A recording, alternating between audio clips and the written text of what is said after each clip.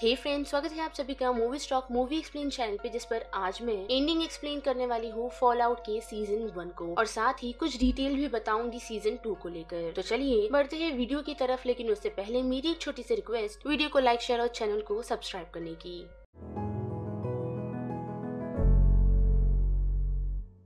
Well तो series की शुरुआत हमें 2077 से दिखाई जाती है, जहाँ हम कूपर को देख पाते हैं, जो एक बर्थडे पार्टी में परफॉर्म कर रहा है। पर अजीब बात ये है कि किस तरह कूपर ये सारे कामों को कर रहा है, क्योंकि हमने थ्रू आउट एपिसोड में देखा कि वो एक ए स्टेट सेलिब्रिटी था, जो इस सिचुएशन पर कैसे आ पहुँचा है और साथ ही उसकी वाइफ और बच्चे का क्या हुआ। जिस पर हम थोड़ी ही देर में आएँगे, लेकिन जैसे कि हमने देखा ही कि न्यूक्लियर 2077 में लॉन्च हो चुका था तो उसके बाद इस सीरीज़ का मेन प्लॉट 290 इयर्स के बाद का है, जहाँ हमें एक कैरेक्टर से इंट्रोड्यूस करवाया जाता है जो कि लूसी मकलीन है। और इसका पालन पोषण वोल्ट नंबर 33 में हुआ है, जिस वॉल्ट टेक का एडवर्टाइजमेंट कभी कूपर किया करता था। जिसके साथ साथ हमें ये भी पता चलता है कि वॉल्ट टेक ने ऐसे काफ़ी सारे वॉल्ट बनाए हैं ताकि वो अमेरिकन लाइफ को प्रिजर्व रख सके। और अर्थ पर रह रही जब सारी चीज़ें खत्म हो जाएगी तो वो लोग अर्थ पर वापस लौट आएगी जिसे उन लोगों ने रिक्लेमेशन का नाम दिया है। और लूसी को इस बात की जानकारी नहीं कि जिस वॉल्ट में वो लोग रह रहे हैं, वहाँ के कुछ लोग खुद ही एक्सपेरिमेंट्स हैं। साथ ही सीज़न के लास्ट एपिसोड में हमने देखा कि कूपर अपनी वाइफ के फिट बॉय में एक लिसनिंग डिवाइस को छुपा देता है, जिस कारण उसे पता चलता है कि बड़ी बड़ी companies RobCo West Tek Big MT और रेप्टो नाम की सारी कंपनीज़ मिल न्यूक्लियर को लॉन्च करने वाली है, ताकि जब वो लोग अर्थ पर इमर्ज हो तो उनकी कंपटीशन के लिए कोई भी बचा ना हो। जो जान कूपर काफ़ी हैरान रहता है और मे भी यही उनका रीजन होगा पार्ट होने का साथ ही उसने उन लोगों को पब्लिक जाने की भी धमकी दी होगी, जिस वजह से उसका करियर भी खराब हो गया था, जिसकी पूरी इन्फॉर्मेशन शायद हमें सीज़न टू में दिखाई जाएगी। लेकिन हमें ये भी याद रखना है की उसने एक लेफ्टिस्ट वुमेन की मीटिंग को अटेंड किया था, जिसका नाम मिस विलियम था, जिसे 200 साल बाद मोल्डेवर के नाम से जाना जाता है। और उस समय वो एक ऐसी चीज़ बना रही थी जो सभी देशों में वॉर को खत्म कर सकती थी, यानी कि कोल्ड फ्यूजन को। पर उसकी कंपनी को टेक ओवर कर लिया वोल्टेक ने जिस कारण ही शायद मॉलडिवर बगावत पर उतर आई और उसी कारण से वो 200 साल तक ज़िंदा रही ताकि वो उस कोल्ड फ्यूजन को हासिल कर पाए। लेकिन अजीब बात ये है कि मॉलडिवर और कूपर 200 साल तक ज़िंदा कैसे रहे? जिसमें सबसे पहले बात करें कूपर की तो हम देख पाते हैं कि 2077 में न्यूक्लियर बॉम्ब का एक्सप्लोजन हुआ था, जिससे शायद वो सरवाइव कर पाया और उस वजह से उसकी बॉडी ने रेडियो एक्टिव को कैप्चर कर लिया, जिस कारण वो गोल में बदल चुका है और उसी वजह से उसकी बॉडी रेडियो एक्टिव से अट्रैक्ट होकर उसे इतने सालों तक ज़िंदा रख रही है। लेकिन वही बात करें मॉलडिवर की तो वो कोई गोल नहीं। लेकिन हम ऐसा मानकर चल सकते हैं कि शायद वॉल्टेक के कनेक्शन में रहने के कारण वो खुद को वॉल्टेक के कायरो चैम्बर में सेफ़ रख पाई। और उसी के साथ बात करें 2077 के ब्लास्ट के दौरान तो कूपर अकेला नहीं था, बल्कि उसकी बेटी उसके साथ थी। और वो शायद इतने सालों से इसी की तलाश में है, क्योंकि हम उसके पुराने दोस्त को देख पाते हैं, जो उससे यही पूछता है कि क्या वो उसी की तलाश में है, जो शायद हमें यही हिंट देता है कि कूपर की वाइफ और उसकी बेटी ज़िंदा होगी। पर प्रेजेंट में हम देख पाते हैं कि कूपर को इसकी कोई भी इन्फॉर्मेशन नहीं कि उसकी फैमिली कहाँ है। जिस कारण हम ऐसा मानकर चल सकते हैं कि जब वो अपनी बेटी को हॉर्स पर लेकर निकला था तो उस दौरान उसके साथ कुछ हुआ था। लेकिन अजीब बात ये है कि हम देख पाते हैं कि किस तरह कूपर की वाइफ ने सभी लोगों के सामने ये कहा था कि वो ये सारी चीज़ें अपनी बेटी के लिए कर रही है। पर न्यूक्लियर एक्सप्लोजन तभी होता है जब कूपर उसकी बेटी के साथ अकेला होता है। तो हम ऐसा मानकर चल सकते हैं कि कूपर बिना बताए जेनी को अपने साथ ले आया था। साथ ही हम ये भी देख पाते थे कि बारबरा इतनी मेहनत इसीलिए कर रही थी क्योंकि उन्हें एक अच्छे वॉल्ट में जगह चाहिए थी, जो शायद खरीदने पर भी नहीं मिलती। और अच्छे वॉल्ट की बात करें तो उनमें से एक 33 वॉल्ट की ही बात कर लेते हैं, जो कनेक्टेड 31 और 32 से था, लेकिन उनका इंटरेक्शन उनसे ज़्यादा नहीं था। और उनका इंटरेक्शन तभी होता जब उन्हें ब्रीडिंग या फिर ट्रेड करना होता था, जिस वजह से ही हम देख पाते हैं कि उनका ऐसा इंटरेक्शन तब होता है जब लूसी की शादी होने वाली होती है। जिस दौरान हम उसके फादर को देख पाते हैं, जिनका नाम हैंक मकलेन है, जो इस वॉल्ट के लीडर और उन्हें ओवरसियर कहा जाता है। लेकिन गेम की बात करें तो हम देख पाते हैं कि ठीक वॉल्ट 33 जैसे ही और भी वॉल्ट है लेकिन वो सेम नहीं। क्योंकि वॉल्टेक के ये एक्सपेरिमेंट्स है, जिस कारण उन्होंने सभी वॉल्ट्स को अलग अलग तरीके से बनाए हैं और वहाँ अलग अलग लोग भी रहते हैं, जिनकी अलग अलग सोच है। और एग्ज़ाम्पल की बात करें तो हम सीरीज़ में वॉल्ट नंबर फोर को देख पाते हैं, जहाँ काफ़ी सारे साइंटिस्ट को रखा गया था जिन्होंने काफ़ी अजीब अजीब से एक्सपेरिमेंट किए थे, क्योंकि उन लोगों पर कोई भी रोक टोक नहीं। जिस वजह से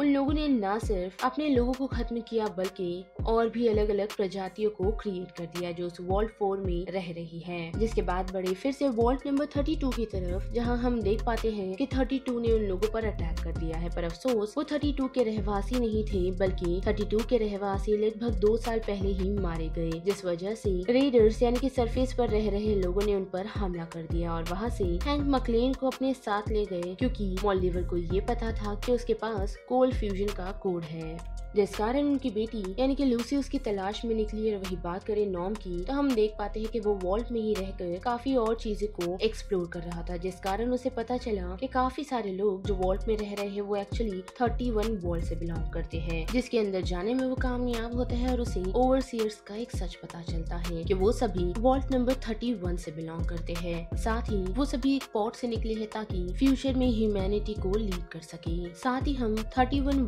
में हैंक मकलीन का पॉट देख पाते हैं, जिसके साइड में क्लियरली लिखा हुआ है कि किस समय उसने उसके अंदर एंटर किया और साथ ही किस समय एग्जिट जिन सारी चीज़ों के पीछे और कोई नहीं बल्कि बर्ड है, जो कभी वेस्ट टेक ऑपरेशन का इंचार्ज हुआ करता था। और उसने ऐसी काफ़ी सारी चीज़ें बनाई हैं, जो अभी के यानी कि 200 साल बाद लोग इस्तेमाल कर रहे हैं। और उसे वहाँ इन्फॉर्मेशन वही ब्रेन मशीन देती है, जो और कोई नहीं, शायद बर्ड ही है। लेकिन अब उसे वो बाहर जाने नहीं देता, जिस कारण दो ऑप्शन उसके पास है कि वो यहाँ मर सकता है या फिर उसके फादर के पॉड में जाकर वेट कर सकता है। और डेफिनेटली हम ऐसा कह सकते हैं कि नॉम ने उसके फादर के पॉड में जाना डिसाइड किया है। और उस वॉल को शायद कभी ना कभी कोई ओपन करे। लेकिन बात करे बेटी की तो जब उसे ये पता चलेगा कि 31 को किसी ने ओपन कर लिया है तो वो क्या करेगी? लेकिन इतना ही नहीं, बल्कि 32 को एक नया ओवरसियर मिल चुका है, जो और कोई नहीं, बल्कि स्टेफनी है, यानी कि लूसी की बेस्ट फ्रेंड और इसे ये पोजीशन ऐसे ही नहीं दी गई, क्योंकि हम वॉल्ट नंबर 31 में स्टेफनी नाम का एक और भी देख पाते हैं। और साथ ही वेडिंग ड्रेस पर उसका नाम भी, जिसे देख हम ऐसा कह सकते हैं कि उस समय उसे सभी लोगों के सामने इंट्रोड्यूस करवाया गया था। और अब फाइनली बड़े लूसी की तरफ़ तो बाहर निकलते ही पहली मुलाकात उसकी डॉक्टर विल्जिक से होती है, जो कि एनक्लेव का एक साइंटिस्ट है और उसके जैसे और भी लोग उस जगह मौजूद है जो पपीज पर एक्सपेरिमेंट्स करते हैं। और शायद उस जगह वॉर क्रिमिनल्स भी मौजूद होंगे, जिस वजह से ही डॉक्टर विल्जिक वहाँ से भाग निकले। वो भी कोल्ड फ्यूजन को क्रिएट करने के बाद, ताकि वो उसे मॉल रिवर तक पहुँचाए और दुनिया को एक नई उम्मीद दे सके। जिसे लूसी अपने साथ ले तो गई ताकि वो अपने फादर को छुड़ाए, वो भी उनका सच जाने बगैर। लेकिन रास्ते में उसकी मुलाकात मैक्सिमस से हुई, जिसके साथ उसने एक रोमांटिक बॉन्ड क्रिएट किया। और अब बात करें मैक्सिमस की तो वो ब्रदरहुड ऑफ़ स्टील का एक मेंबर है, जो नॉलेज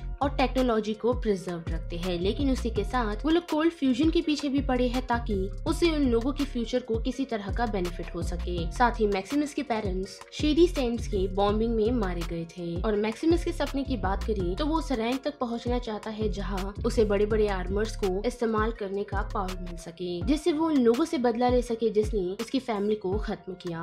पर इतना ही नहीं, बल्कि सीज़न के लास्ट एपिसोड में हम देख पाते हैं कि लूसी को उसके फादर का सच पता चलता है और साथ ही उसे ये बताया गया था कि उसकी मॉम की डेथ 2277 में हुई थी, वो भी एक प्लेग के कारण। पर ऐसा नहीं हुआ था, बल्कि रोज को ये पता चला था कि वॉल का कुछ पानी किसी और तरफ़ जा रहा है, जिससे उन्हें ये समझ आया था की शायद सरफेस पर सिविलाइजेशन बस चुकी है। जिस बारे में उसने अपने हस्बैंड को बताया, लेकिन वो ऊपर जाकर नहीं रहना चाहता था, जिस कारण ही उसने इन बारे में और इन्फॉर्मेशन कलेक्ट की और एक दिन लूसी और नॉम को लेकर सरफेस पर चली गई। और इस बारे में जैसे ही हैंक को पता चला तो उसने अपने बच्चों को रोज से ले लिया और उस पूरी जगह को न्यूक कर दिया, यानी कि न्यूक्लियर बॉम्ब से डिस्ट्रॉय कर दिया, जिस कारण रोज एक गोल में बदल गई, जो कूपर जैसी तो नहीं, लेकिन फिर भी रोज ने उसे अपने साथ रखा है, ताकि एक दिन वो दोनों एक साथ मिल कोल्ड फ्यूजन का सपना पूरा होते हुए देखे। जिस कारण ही शायद लास्ट एपिसोड में हम देख पाते हैं कि जब वो कोल्ड फ्यूजन को एक्टिवेट कर देती है तो रोज के जोम्बी अवतार के पास पहुँच उसे यही कहती है कि उन लोगों ने कर दिखाया, जिसके साथ साथ नीचे लाइट स्टार्ट हो जाती है। लेकिन इतना ही नहीं, बल्कि उसने हैंग को इसीलिए कैप्चर किया था ताकि वो कोल्ड फ्यूजन को एक्टिवेट करने का कोड उसे बता सके। पर जैसा कि हमने देखा ही कि ब्रदरहुड ने वहाँ हमला कर दिया और लूसी पूरी तरह टूट चुकी है ये जान कि न सिर्फ़ उसके फादर ने उसकी मॉम को खत्म किया, बल्कि काफ़ी सारे और लोगों की जान ले ली, जिससे उन्हें कोई फ़र्क नहीं पड़ता क्योंकि उनके अनुसार उन्होंने एक राइट डिसीज़न लिया था, जिसके साथ हम देख पाते हैं कि मैक्सिमस आते ही लूसी के फादर को छुड़ा लेता है ये जाने बगैर कि इन सारी चीज़ों के पीछे उन्हीं का हाथ है। और उस मौके का फ़ायदा उठाकर उन्होंने उसे नॉकआउट कर दिया और लूसी को वापस घर ले जाने के लिए कहने लगे। लेकिन लूसी ने उन पर ही गन तान दी। ये सोचते हुए कि उसे